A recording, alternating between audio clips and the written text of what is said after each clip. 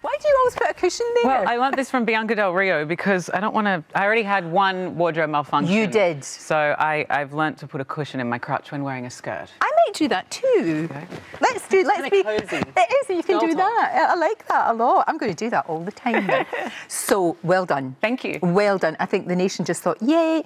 It was remarkable when you were in there though, because you were so articulate and you explained quite complex you know, because people get terribly, terribly caught, you know, in, in knots about Mm. things about gender and sexuality and all of that. And you explained it so beautifully. Thank you. And it was great. It's one of those things where I remember when um, the whole sort of trans and gender sort of conversation started with Caitlyn Jenner and Laverne Cox and, and such. And I remember I was confused and didn't know what the words were. And I heard people saying you can say and can't say this. And I, I thought, how do I learn more? And I just went on the internet, read things. I mean, mm-hmm. obviously, this has been my life for a very long time, but even I was confused by the letters and the things. And just, you know, reading books and talking to friends and working with people, I was like, oh, I understand this now. And now, hopefully, I can explain it um, to people in a way that they can understand. No, exactly, it's not just boy or girl or gay or straight or black or white.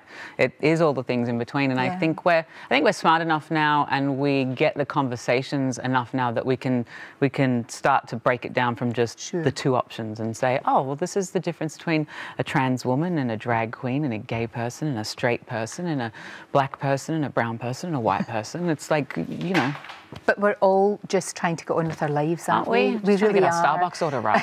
exactly, of course.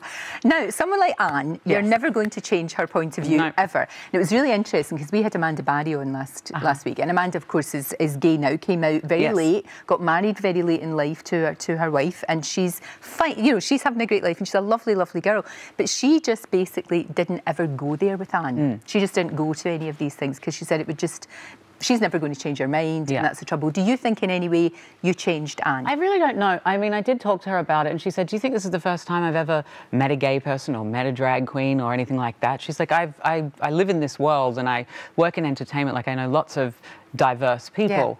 Um, and I, what I really kept in my mind is, I'm not going to change Ann's opinions, but maybe people watching, whether it be in the house or people at home, will hear two sides of an argument. That was the thing. Yeah. That was exactly it. Yeah. What now? What's going to happen now? I mean, if you want to do your own version of Drag Race, I'll be Michelle Visage to you. All right. Easily. But I mean, I would like love that. to see you're, you're clearly a natural. You're a brilliant communicator. Thank you. And, sh- you know, I just wonder what is next for you, what you'd like to do. Well, at the moment, I'm kind of I'm It's crazy. just taking it Yeah, all in. I'm just shaking the tree and see what falls to the ground, really, um, and just looking at opportunities. I'm a live performer as well. I love being on stage. I'm doing a tour in the a great UK voice. in June. Yeah, yeah. Thank you.